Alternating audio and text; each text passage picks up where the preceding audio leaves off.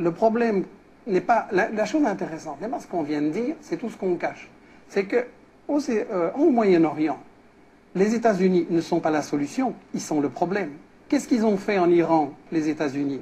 Il y avait un Premier ministre qui a démocratiquement dit un jour, 53, le pétrole, tout va dans les poches des multinationales, il faudrait quand même que ça profite un petit peu à mon peuple aussi. Qu'est-ce que les États-Unis ont fait Coup d'État renversé. C'était Mossadegh. Hein. Voilà, c'était Mossadegh, exactement. Et à la place, on a installé la dictature militaire du Shah d'Iran. La police politique, la SAVAK, a torturé, emprisonné, assassiné des dizaines de milliers de gens. Ça, c'est la démocratie des États-Unis en Iran. Maintenant, on nous dit oui, mais l'Iran a des armes de destruction massive. On nous a déjà fait le coup, on sait ce que ça vaut, mais on recommence parce qu'on n'a pas 36 prétextes. Donc l'Iran des armes euh, pourrait développer l'arme nucléaire.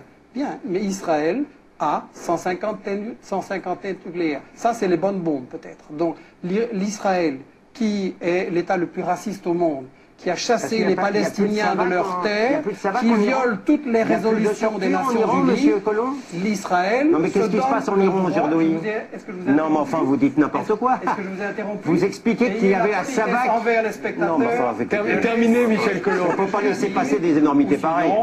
mais vous avez dit des énormités, mais j'étais poli, j'ai laissé les spectateurs vous entendre. Oui en essayant de m'interrompre, vous donnez l'impression que vous avez peur de ce que je vais dire. Laissez-moi oh, aller jusqu'au bout. Je vous assure que je suis très calme là-dessus. Laissez-moi aller jusqu'au bout, alors, par politesse envers les spectateurs. Allez-y, non, enfin, que la SAVAC n'existe plus, c'est quand même un peu énorme. bafoue les résolutions de l'ONU depuis toujours, a chassé les Palestiniens de leurs terres. Ils ne s'en sortent que grâce au veto des États-Unis chaque fois, sinon c'est la condamnation internationale. Le problème ne va pas être résolu par les États-Unis et Israël, c'est eux le problème. On ne peut pas avoir une paix au Moyen-Orient tant qu'on a un État colonialiste qui place les Palestiniens dans des camps de concentration. Il n'y aura pas de paix sans la justice. C'est aussi simple que ça.